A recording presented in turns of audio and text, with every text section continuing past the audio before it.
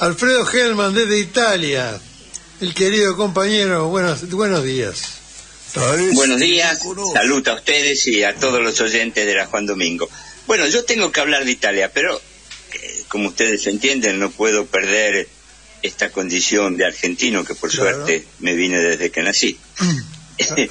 y entonces, eh, pensando en todo lo que escuché hoy en el programa, me da un poco la impresión de que tanto de los sufrimientos que tiene la parte más pobre, más humilde de los trabajadores de nuestro país, una buena parte, si no todo, de ese sufrimiento se lo deben al peronismo.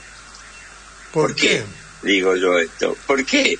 Porque si el peronismo no les hubiera enseñado que se puede comer todos los días y bien, que no les hubiera enseñado que se puede tener salarios buenos y dignos, si no se puede, que, que hay un respeto a los derechos humanos, que pueden tener educación y pueden llegar a la cultura, que pueden tener la salud, que se defiende la soberanía, que se lucha contra los monopolios.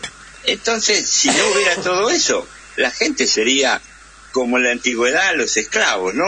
Se recuerda, los esclavos eran esclavos y estaban contentos con ser esclavos porque venían de padres a hijos esclavos, hasta que alguien vino y les dijo, no, deje de ser de esclavos. Y un poco el peronismo, eh, digamos, le, le inculcó a este pueblo esta rebeldía y entonces este sufrimiento viene porque todas estas conquistas que durante años el peronismo le fue dando se están perdiendo si el pueblo no se pone al frente otra vez con el peronismo a la cabeza para corregir este proceso. Buena esa mirada. Buena esa mirada. Bueno, entonces eh, comento algo de Italia. Hace un par de horas Italia le ganó a Estados Unidos en el vóley femenino y ganó la medalla de oro en las Olimpiadas de París. 3 eh, a 0, un gran equipo, etcétera, etcétera. ¿Por qué yo lo nombro con tanta alegría? Porque ese equipo de vóley femenino italiano lo formó, lo dirigió, lo educó un argentino, un argentino que no es cualquier argentino, que se llama Julio Velasco, que es un exilado como todos nosotros, que se hizo profesor y director de vóley en, en su periplo eh, italiano que aprendió acá y que además viene de una familia y él mismo de luchadores. Su hermano estuvo chupado en la ESMA durante mucho tiempo, logró salvarse, no se sabe cómo. Él es un exilado como todos nosotros y nos dio una enorme alegría que una persona así conduzca un equipo y gane una medalla de oro. Un tributo que quería que nuestra eh, audición tan buena como es esta que conduce Martín le diera este reconocimiento a esta gran persona que es Julio Velasco. Muy bien, muy bien. Un prócer Velasco, ¿eh? Ya, ya, llevó al, al volei argentino a muchos triunfos, por supuesto. Llegó al volei argentino, llegó... ¿Saben a quién llegó al, al, a Irán también. Al volei femenino de Irán en Irán estuvo y, y, llegó a que gane la Copa de Asia. O sea, es, es uno que sabe tanto, tanto y tiene una personalidad enorme y sobre todo no perdió nunca. Cuando vos lo escuchás hablar te das cuenta su condición de argentino y su condición de luchador argentino por los eh, derechos humanos, por una patria mejor, soberana, es un hombre de los nuestros. Vos imaginate, Alfredo, si hubiéramos podido retener todos los exiliados que se fueron de Argentina eh, temiendo por su vida y la de su familia, ¿qué país que tendrían? Todos talentosos y exitosos. Así es, así es, Si hubiéramos también respalmeado tanto de los 30.000 muertos que nos dejó la dictadura, donde había tantos muchachos y chicas que hoy, hoy podrían ser los conductores de la Argentina. Bueno, eh, eh, Italia está de vacaciones. Em, dentro del jueves, el jueves viene Ferragosto, que es la fecha más determinante de las vacaciones del verano acá en Italia, es un feriado nacional. Viene del tiempo del emperador Augusto, que desde ese momento eh, instauró un día, en este caso el día que terminaba en esa época la, la cosecha, el trabajo campesino, y había un, día de fiesta. Ahora es un día de fiesta para todos los gitanos, acá nadie trabaja, todo el mundo se va de vacaciones, el que puede va al mar, el que puede va a la montaña, el que no puede se queda en su casa. Pero se trata siempre de, pasarla lo mejor que se pueda. Eh, este día, eh, digamos, tiene un complemento que es una huelga curiosa, una huelga de sombrillas y reposera. O sea, ustedes saben que eh, Italia es uno de los pocos, posiblemente el único país donde las playas son privadas, donde las playas tienen una concesión y este concesionario mete sombrillas y reposeras en alquiler para que la gente que quiera pasar un día de playa lo tenga ahí pagando lógicamente su, su canon. Parecido al modelo argentino, sí, sí. Eh, bueno, entonces, ¿qué pasó? Que eh, hay una ley que viene de Europa por el cual parece que sería obligatorio poner de nuevo eh, en Gara, poner de nuevo en Asta, poner remate, todas estas concesiones, con el peligro, lógicamente, que la ganen los grandes monopolios del turismo. Los concesionarios de los baños, que son una multitud, hay 300.000 personas girando en torno a esta actividad económica, resolvieron hacer una acción de protesta ante el gobierno haciendo una huelga de reposeras y sombrillas. Vale, si cerraron las sombrillas, cerraron las reposeras y por varias horas el que quería tomar sol lo tenía que hacer de a pie y, tomar sol sin sombra. Bueno, eh, vamos a ver qué pasa con esto, pero lógicamente es una cosa interesante porque este grupo era un grupo fervientemente partidario del gobierno era uno de los de los de las reservas naturales de votos que tenía la derecha, la derecha sobre todo de Meloni, y que está, eh, nosotros hablamos con varios de ellos, perdiendo ese consenso a la grande y la gente ahora está muy arrabiada porque el gobierno no sale a defenderlo, en este caso impidiendo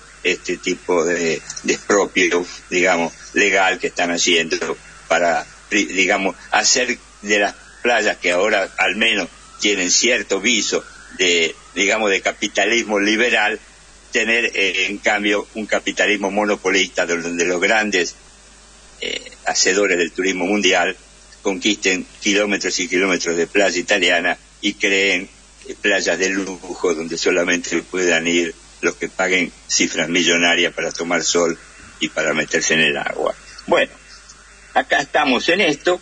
El, una cosa interesante es cómo la derecha en Italia y cómo la derecha en la Argentina coinciden cuando tienen que tomar medidas económicas. Escuché todo lo que se comentaba acá de lo que estaba haciendo nuestro presidente Milei. Fíjense, en, Italia el ministro de Economía, Giorgetti, dice textualmente, no le vamos a tocar las ganancias a las bancas, pero como necesitamos plata, le pedimos a las bancas que aumenten el costo de, los, de las cuentas corrientes y una parte de ese aumento se lo den al gobierno.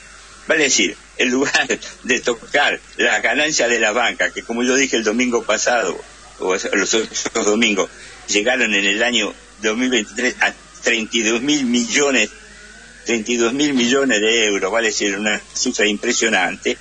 Entonces, para que estas bancas no paguen lo que tendrían que pagar de sobretasa, porque estas son ganancias excesivas, ganancias fuera de, lo común, para que no lo paguen, que aumenten que la cuenta corriente, donde todos nosotros, hijos del vecino, los más chiquitos, los más, los más pobres, que tenemos que tener una cuenta corriente en una banca porque ahí se cobran los sueldos, se cobran las pensiones, se pagan las tasas, se pagan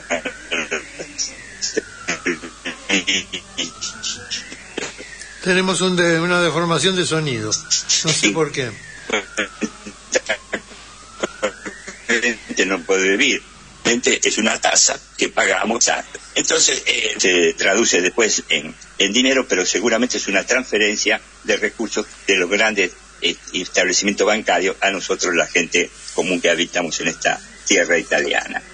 Eh, digamos que sigue como yo ustedes saben que yo insisto, parezco a veces Lázaro Costa, pero insisto en eso, eh, siempre, todas las semanas, muertes en el trabajo, ahora se suman las muertes feminicidio, vale decir, todas las semanas dos, tres, cuatro mujeres muertas por sus compañeros en un proceso que no tiene fin y que no, digamos que esta sociedad no, no logra tener la educación necesaria para que los hombres dejen de ejercitar la violencia entre las mujeres. No hablemos de la Argentina, porque eso ya lo contaron ustedes. Eh, bueno, eh, quería comentarles estas cosas, quería comentarles solamente que, eh, como dije siempre, la Fiat, que otrora era la flor de los cielos, la flor, de, digamos, preciada de la industria italiana, se está desprendiendo cada vez más de sus pesos más preciados. Vendieron a monopolios extranjeros las dos empresas que tenían más desarrollo tecnológico. Una es la Marelli que hacía los magnetos para los coches, la otra la Comau que hacía la automatización de todo el proceso de producción. Cada vez más la industria italiana habla menos italiano. Una noticia buena la tenemos de Inglaterra, habrán leído como yo, manifestaciones enormes, multinacionales veramente, contra el racismo y contra el fascismo. Parece que los ingleses alguna vez se despiertan. Se avivan. Y son posiciones, posiciones justas y buenas. Eh, sí, sí, disculpame que interrumpa tu panorama, pero pensé que no, no, quiero destacar lo que dijiste de Julio Velasco, te pasaste eh, en recordar este, el gran triunfo de este genio del deporte argentino. Bueno, gracias, es así, es así, es así, es así. Y me, da mucho gusto que, también para que para vos lo pienses, porque sé que vos sos, un experto del periodismo deportivo y si vos lo decís es porque hay motivos serios para, para sostener esta cosa. Quiero decir algo, Alfredo. Estas son las cosas Alfredo, más importantes. Felicitarte porque acabas de tener un bisnieto. bueno, no, es, el, cuarto. Tengo cuatro bisnietos. Uno ah. nació hace poco, pero los otros tres eh, ya nacieron. Uno ya tiene nueve años, ya juega al fútbol. Eh, y tengo y otras tres son tres chiquitas. Una tiene dos años, otra tiene seis meses y ahora nació eh, esta nena que tiene una semana de... ¿Y cómo se llama la recién nacida? Muy, linda nena. Eh, ¿Cómo se llama la, la... viña. La viña. La viña. La viña, que es un nombre italiano, un nombre italiano que, bueno, eh, los padres le pusieron y es, eh, allá ellos con ese nombre, es muy, muy lindo acá, eh, lo usan bastante. bueno.